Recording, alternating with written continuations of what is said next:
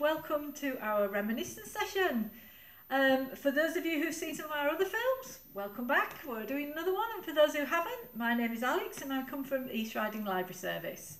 Because we can't come into homes at the moment and actually do a, a reminiscence session face to face, we're bringing them to you on film instead.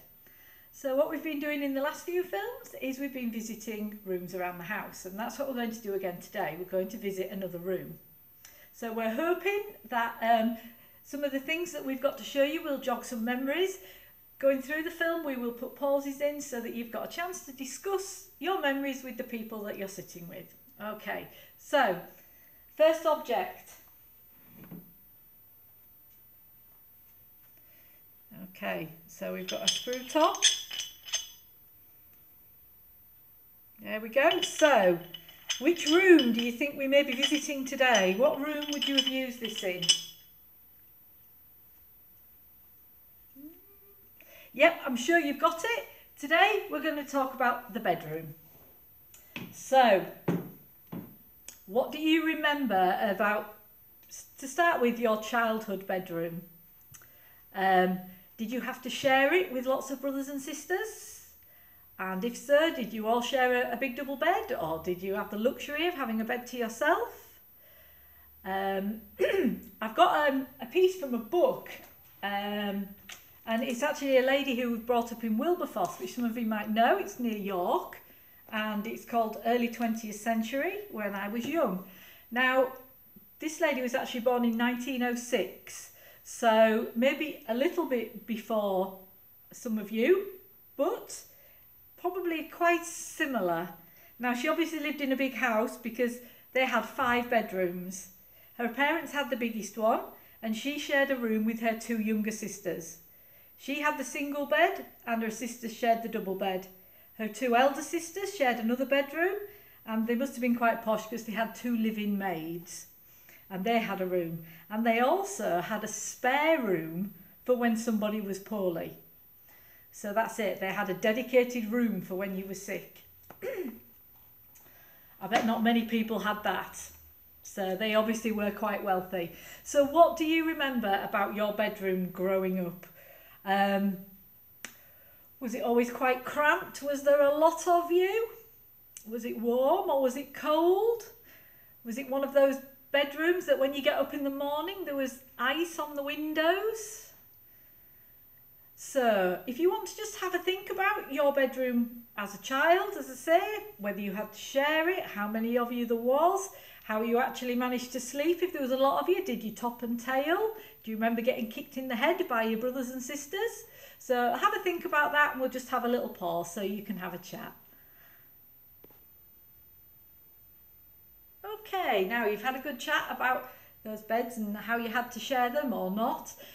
Um, now we'll have a little think about the, the bed itself and we'll start off with the bedding. Now, what type of bedding did you have? I'm assuming it was probably sheets and blankets.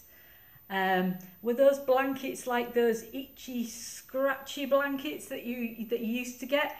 I know my grandma used to have those and you used to have to be really careful that you got them covered with the sheet because otherwise they were really itchy and scratchy on your neck.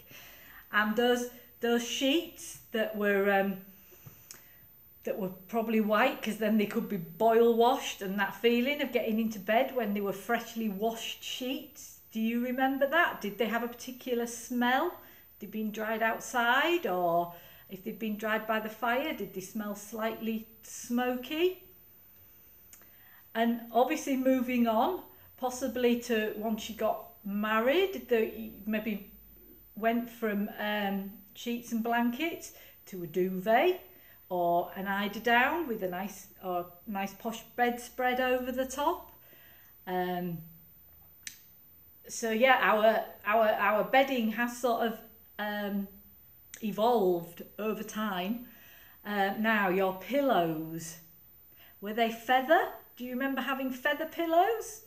Um, where the the stalks of the feathers prick you? You go, they poke through the pillow. Um, and did you have to share pillows? Did you even have a pillow or did you have to roll up some clothing or something and use that as a pillow? And what do you remember about sleeping in those beds? Um, what was your actual bed like? Did you have a comfy mattress or was it really lumpy? Did you have a, a bed frame or was it just a mattress on the floor? Okay, and again, was it a single bed or was it a double bed? Now, some mattresses, they used to be stuffed with straw. And then as we got on, obviously mattresses got springs in them. So what's your memory about the, the mattress that was on your bed? Now, we said earlier about bedrooms and you were very lucky if you had a fireplace in there. But if not, they could get very cold. You got ice on the inside of the windows. So that object that we looked at earlier, our bed warmer, you would fill it full of hot water and pop it in your bed. Now, did you have something like this? And if you did, did you always have a fight with your brothers and sisters to see who could put their foot or their feet on the on the hot water bottle? The other thing before these was one of these, the bed warmer. Yes, so if I'm, I'm led to believe you would have put hot coals or something in there and then it would have been shoved in between the sheets on your bed and it would have been left there until you went to bed and then it would be taken out and hopefully you would have a nice warm spot in your bed. Do you remember anything like that? Did you have the luxury of having any war any warmth put into your bed? Did you just heat up a brick and put that in? That would have worked as well. Now the other essential that probably most bedrooms had, and I'm sure you know what this is. Yes, the glorious chamber pot or the gazunder, whatever you care to call it. Because this was probably a better option than tripping down the yard to the toilet. But I'm sure you all have memories of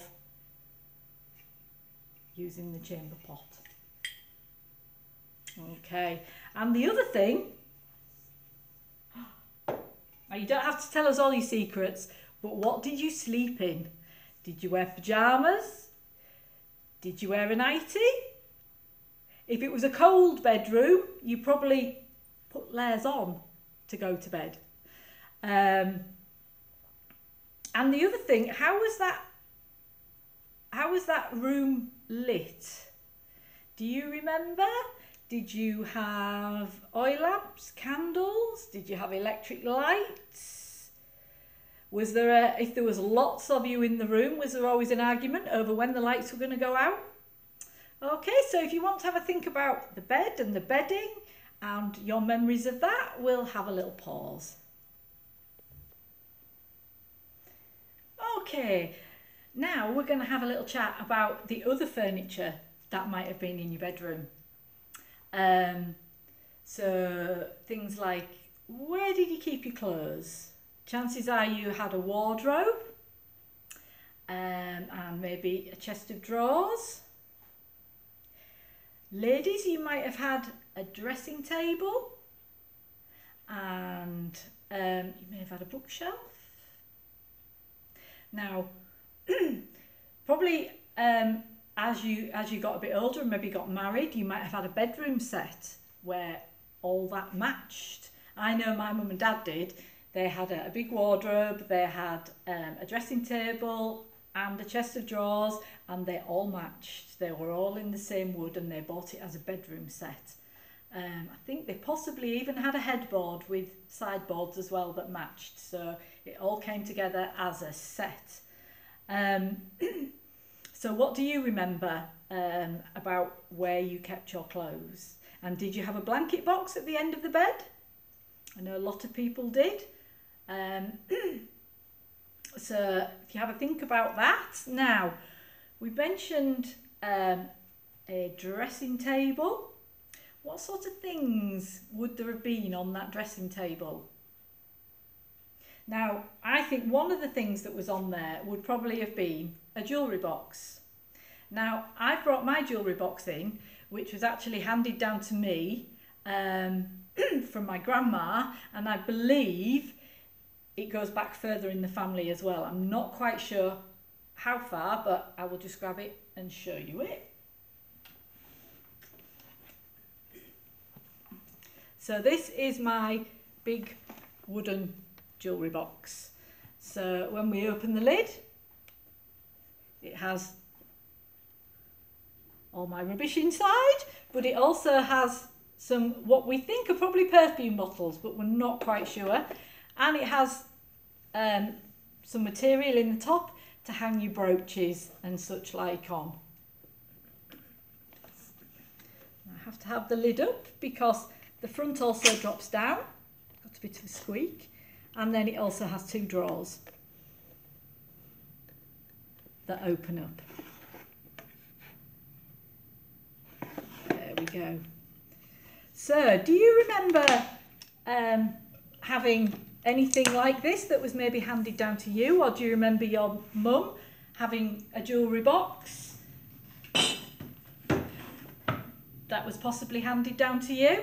Was that something as a child that you were allowed to play with? Were you allowed to go through mum's jewellery box and try on the jewellery and things like that? I remember doing that with my other grandma's jewellery box. I remember trying on her jewellery and things. Okay. Um, the other thing that may have been on your dressing table was a dressing table set, so a brush and a comb and maybe a handheld mirror, and quite often they all matched as well. So ladies, if you remember anything like that, um, you can have a chat about that in a moment. Um, the other thing that you might have had in your bedroom, maybe if you were when you were younger, a bookshelf. So now we've got um, a couple of couple of books here. We've got the Champion Annual for Boys, published in 1948. That one. So all sorts of pictures and things Some people playing football. And we've also got the storybook of the cowboy. So did you have a bookshelf in your bedroom? It's something that's quite common now. Uh, most children have a bookshelf in their bedroom, but was that something that you had when you were growing up? Or as you've, as you've got older, is it something that you've got now? Now, some of you probably from when you were married, may remember this wondrous invention.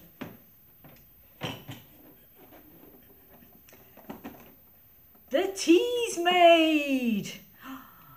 How could you not want to wake up on a morning to a freshly brewed cup of tea? And look, it has your little alarm clock on the front as well. So you can tell the time. There we go, and it boiled up your water and then brewed up your tea. So you had your, your separate little mugs somewhere. So does anyone remember having a Teasmade? Okay. I think they might have done one a bit later. They might have done one for coffee as well. So have a think about that as to whether you remember. And just something else that you might have had um, when you were younger and you started work, how did you know what time to get up? Did you have an alarm clock? Can you still remember what sound that alarm clock made? Was it just a bell or was it some other type of sound? And just lastly, thinking about the furniture and, and the bedroom as a room, what did you have on the floor of your bedroom? Was it sort of a lino or um, just floorboards? So that would be a bit cold. Or did you have carpet or maybe rugs? So if you want to just have a think about that. So we've discussed the furniture and dressing tables, things that might have been on dressing tables. You've got your chest of drawers, gentlemen. If there's particular things that you maybe kept on the top of chest of the chest of drawers, maybe that was your space If you want to have a think about that. And then the flooring, our wondrous jewellery box and Teasmade. So if you want to have a think about all of that and have a little chat, we'll be back with you shortly. Okay, welcome back. So um, we're now going to talk about grooming, personal grooming, and um, all that getting ready that you may have done in your bedroom before those nights out or before those going on those dates. So we'll start with the ladies and um, we'll start first of all with our crowning glories, our hair. Okay, so chances are you were like me and if you had curly hair, what you really wanted was straight hair and those who had straight hair really wanted curly hair. So for people like me, now we, we saw this in the, um, in the kitchen to get those lovely straight hair, a good old flat iron.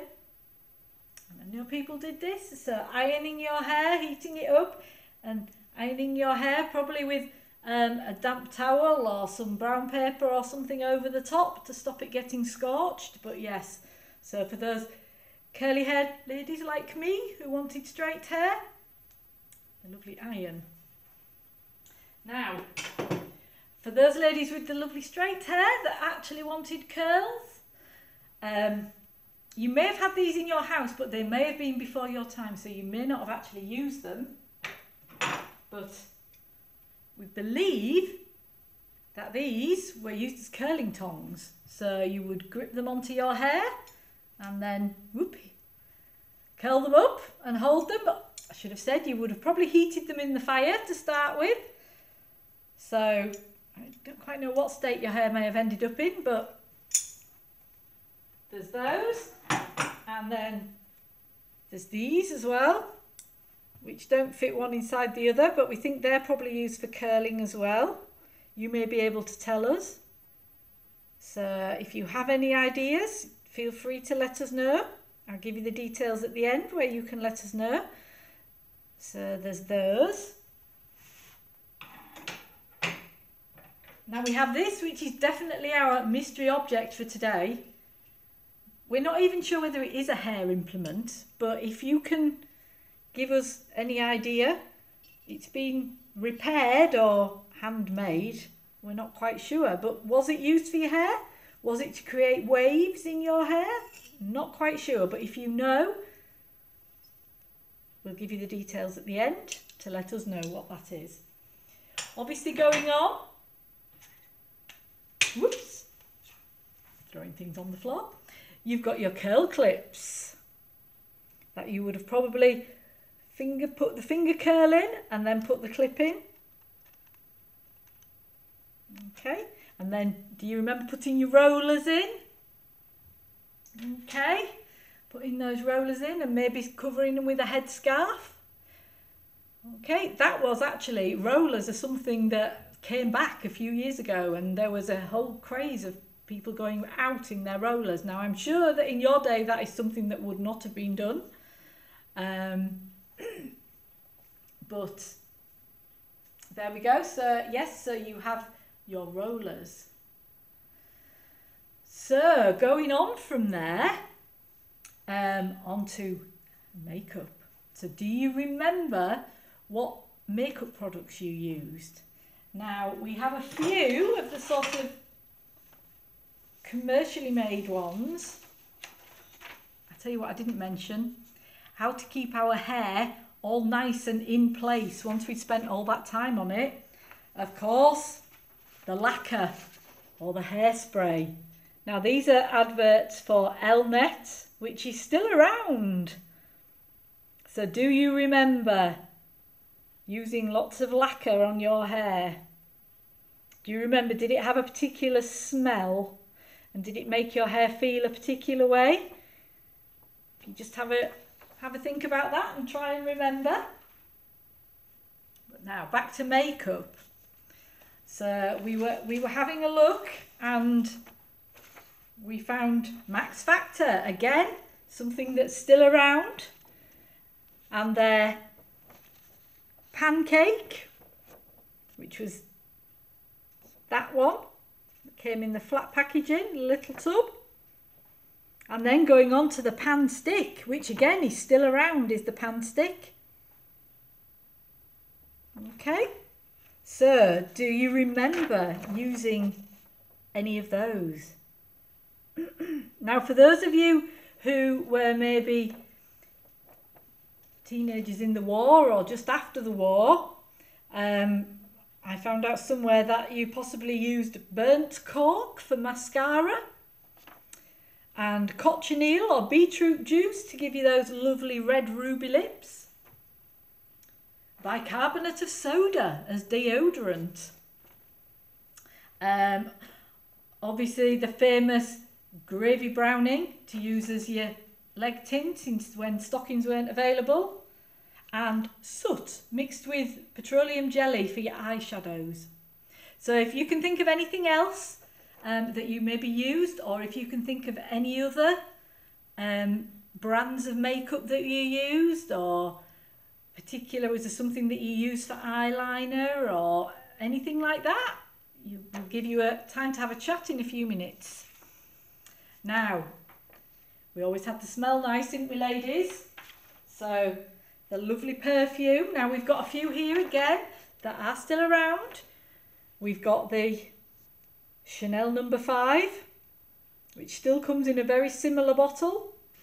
And we've also got a Christian Dior one down here. And another one, Evening in Paris. Now, did you have a particular perfume? Do you still have a particular perfume that you use? Um, and can you still remember that smell? Okay.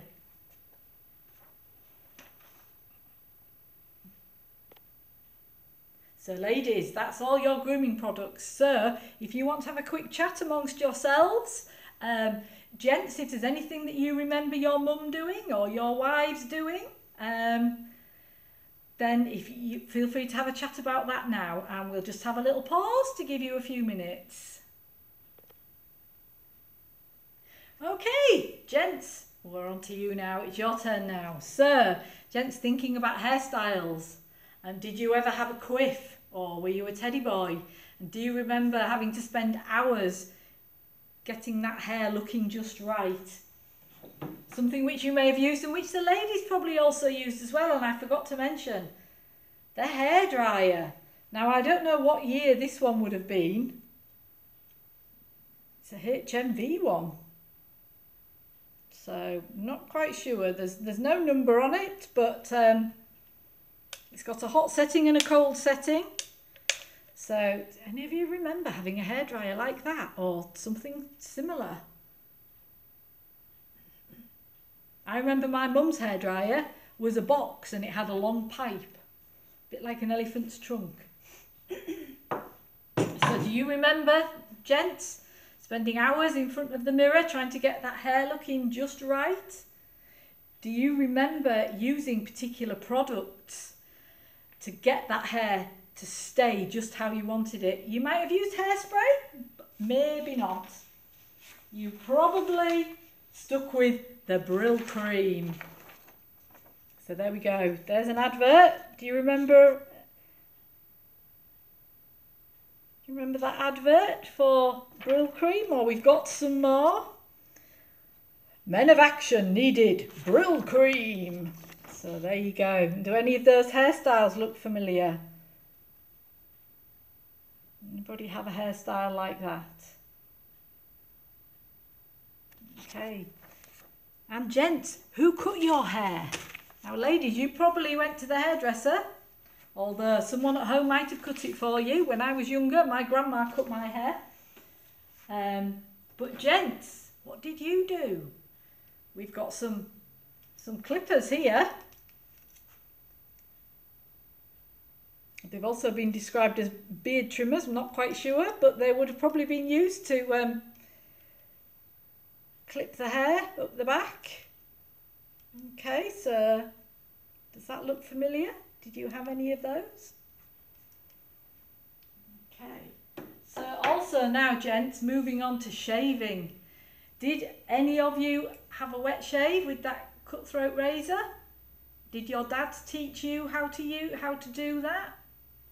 Or did you ever go somewhere you had to barbers to have a shave. Do you remember the first time you had a shave? And how old were you? Now here we've got a, a posh looking electric razor. I'll open my posh box, look. It's a Remington, which again are still doing the rounds.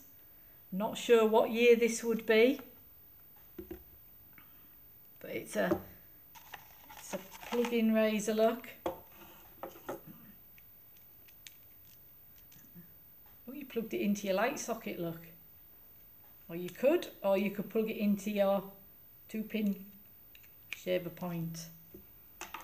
So do you remember having your first electric razor? Okay. And obviously, after you've had your shave, you've got to put your aftershave on. Was there a particular one you used? Some that again are still doing the rounds. There we go, we've got Old Spice. Tagline is A man wants a man's gift. Old Spice. Or Brut or Brute, however you pronounced it. Again, do you remember those adverts? And then going on to men's cologne, we've got Aramis. And just something we put in for a bit of fun, a soap on a rope. Do any of you remember soap on a rope? That's something you don't tend to get anymore. It was of a particular era, was soap on a rope. So gents, now that we've had you covered, so if you will have a little pause and if you want to have a little chat about men's grooming and what you remember. Okay? So obviously, the last part, we've done all that grooming. So obviously, um, it's just getting ready, getting dressed to go out now. So you would hit those wardrobes. Um, can you think, was there a particular outfit? Did you have particular, was there something in particular that you would wear to go out, maybe on a Saturday night or to go out in dancing? Gent, was there a particular style of suit or um, a waistcoat and a tie? What, what sort of things would you have worn? And if you had lots of brothers and sisters of a similar age, um, ladies, was there a battle for the mirror? Um, a battle for the bathroom if you had moved on to the time when you got ready in the bathroom? Um, so yeah, if you want to think about that, there's a, a few things that um, you might have used before you went out. The clothes brush, get rid of all those hairs and those stray bits and pieces so you were looking your best when you went out.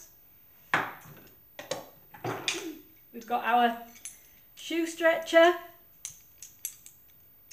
Ladies and gents, but ladies for those heels, the, the fronts were a little bit tight. You get the old shoe stretcher in just to make them a bit wider. And every home, I think, had a shoe horn to help you get your shoes on. Ladies, there was a time where we didn't go out without our pair of gloves and the implement, our glove stretcher. For those those when those gloves were a little bit tight, pop it in down one of the fingers and open it up and it stretches out the leather. Okay. And yes, to finish off, to finish off the outfit, you would hit that jewellery box that we looked at earlier. So you might put on your pearls or your brooch or you maybe had a locket of some description. That one's a nice one. That's actually got um, some hair in it as that one. Oh, another, another little little brooch there. So, that's about us. Done for today, for this film on the bedroom. So, I'm sure there's lots of things that we've covered today that have triggered memories for you. Uh, we are going to cover fashion in a later film. And something we couldn't end talking about the bedroom without mentioning our childhood toys. Now, as a child, this is this is who kept me company going off to sleep. This is Potbelly Bear because he's got a big tummy. That was that was the type of bear he was described as, as my potbelly bear. So I'll say bye for now, and Potbelly Bear will say bye for now, and we'll see you soon. Should you want to leave any comments, you can find us on Facebook under East Riding Libraries, Museums and Archives, and we would welcome any feedback or any comments you've got to make about the films that we're making. So we'll see you soon. So bye from me and bye from Bear.